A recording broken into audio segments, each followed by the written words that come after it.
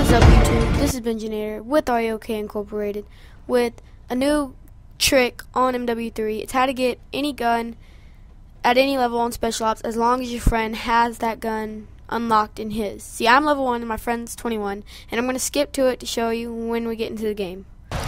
So once you come into the game, beat the first level, and as you can see, I only have one gun unlocked, and the 44 mag is level 20. I'm about to get the 44 mag.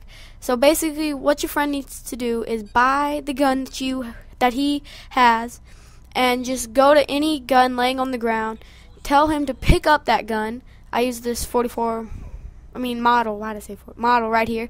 And he just picks up the model and I can pick up the 44 mag. It's really good if you're playing with low levels and you're a level 50 top gun. That's it. Hope this tutorial helped you. Also, you can buy ammo and upgrades for the weapons that you have. Hope this tutorial helped you. Thanks for watching. If you did enjoy it, please leave a like. Peace.